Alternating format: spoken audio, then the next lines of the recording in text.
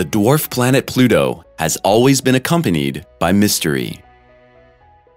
In 2006, NASA sent the New Horizons spacecraft to our small galactic neighbor to unravel the great mysteries surrounding this former member of our planetary system. After about nine years of travel, the time had come. The unmanned spacecraft reached the realms of Pluto and provided earthly scientists with some new, groundbreaking information about the fascinating dwarf planet. In the following video, we would like to introduce you to the galactic celestial body in the remote Kuiper Belt. In addition to the numerous astonishing findings about Pluto, we would also like to address the big questions that have surrounded the dwarf planet for many years. Interested in the most breathtaking discoveries of space? Then subscribe to our channel and stay up to date. If you like our videos, feel free to give us a thumbs up. And don't forget to take a look at the fascinating topics we've linked to at the end of today's post.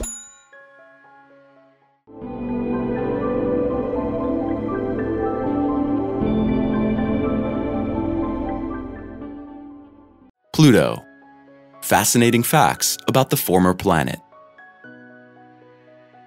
Why Pluto is appropriately called a dwarf planet becomes apparent when you take a look at the celestial body's equatorial diameter. Specifically, it's only about 1,475 miles. For comparison, our Earth has a diameter of more than 7,916 miles. Pluto orbits the Sun at a distance of 3.7 billion miles. Therefore, the celestial body needs an incredible 248 years to completely orbit the glistening fixed star. Due to the elliptical rotation curve, the natural distance between Pluto and the Sun is subject to some fluctuations. The maximum distance between the dwarf planet and the central fixed point of our planetary system is about 4.6 billion miles. However, Pluto never comes closer than 2.7 billion miles to the Sun. This spatial arrangement naturally leads to the fact that practically no warming solar rays reach the trans-Neptunian object. For this reason, the thermometer on the bone-chillingly cold celestial body never climbs above negative 360 degrees Fahrenheit. Regarding its material composition, Pluto is classified in the list of terrestrial, or in other words, solid celestial objects. Specifically, the dwarf planet is composed of 70% rock, while the remaining 30% consists of water ice particles. Pluto was officially discovered in 1930. Over the next 75 years, the celestial body would become an integral part of our parent, planetary system. Around the turn of the millennium, however, a fierce dispute arose among experts about the planetary status of the small celestial body.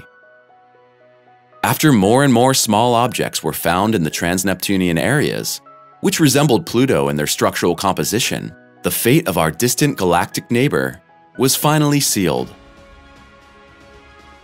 In order to avoid a constantly increasing number of planets in our solar system, a new classification of dwarf planets was defined in August 2006, in which Pluto was immediately included. Especially remarkable, when the space probe New Horizons left our terrestrial home to take a closer look at Pluto, it still had its official planetary status. That Pluto is not alone in its orbits through space has been known for a long time, Thus, we have known since the late 70s that the dwarf planet is always accompanied by its moon Charon. With a diameter of more than 745 miles, Charon is more than half the size of Pluto itself. Whether Pluto and Charon should be granted the status of a double planet because of these natural size ratios is still hotly debated. Officially, however, Charon, which orbits Pluto at a distance of just 12,100 miles, continues to be listed as a moon for the time being. In the course of later observations, it became clear that Charon is not the only natural satellite in the immediate vicinity of Pluto. Today we know that the dwarf planet is accompanied by at least five more moons. In contrast to Charon, however, the satellites in question are significantly smaller. The equatorial diameters of the remaining Pluto moons range from just 6 to 60 miles. Strange giant ice blades on Pluto. Despite all the knowledge about Pluto, there are still numerous questions about the exciting dwarf planet that experts cannot answer. The New Horizons spacecraft, for example, provided some startling new insights into Pluto after finally reaching the celestial body in the summer of 2015. Particularly fascinating were the images of some strange blade-shaped ice formations on the surface of the celestial body. For a long time, terrestrial scientists were unable to determine the origin of these intriguing formations. The furrowed geological areas are located in the highest regions of the dwarf planet's surface. The structures, which extend around Pluto's equatorial line, not infrequently reach dizzying heights of many hundreds of meters. While these blade-like formations initially befuddled experts, the mystery surrounding the formations now seems to have been solved. According to the latest findings, the mysterious objects are structures made of methane ice. The origin of these galactic blade points lies at least partly in the sublimation of the ice.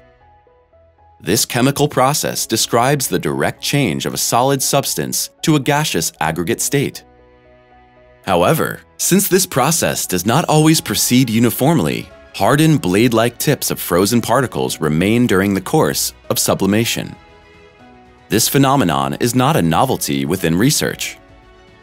While in other cases the transformation of the substances sometimes takes place on the basis of water ice, the initial mass on the dwarf planet is methane ice.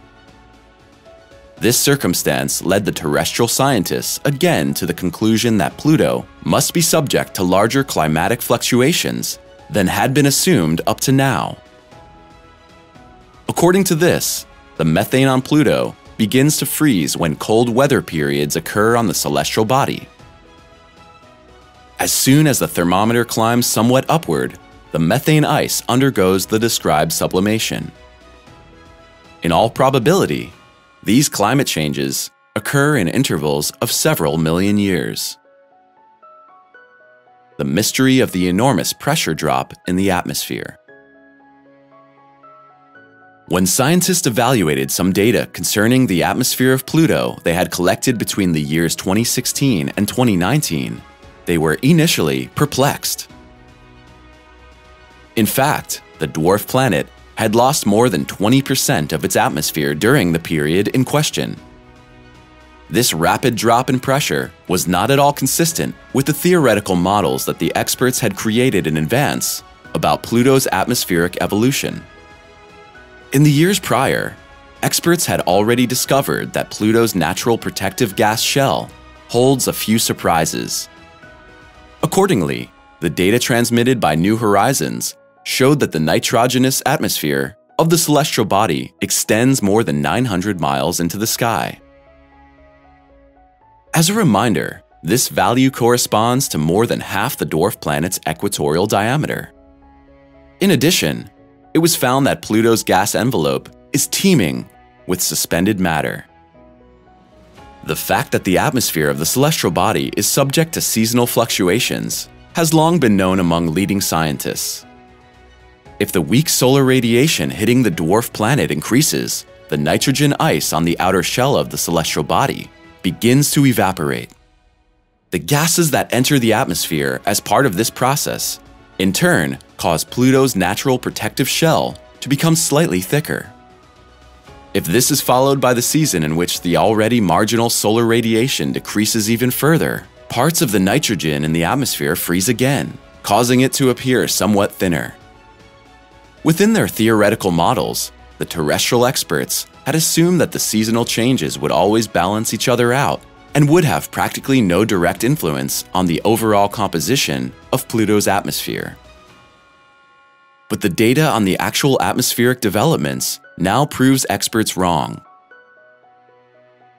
What ultimately led to the dwarf planet's gas envelope losing such strength within just three years remains a great mystery for the time being. Initial conjectures suggest that the influence of a large, as yet unknown nitrogen ice reservoir could be responsible for the mysterious pressure drop in the atmosphere. This hypothesis must now be put through its paces in the course of further investigations. Mysterious polygon patterns.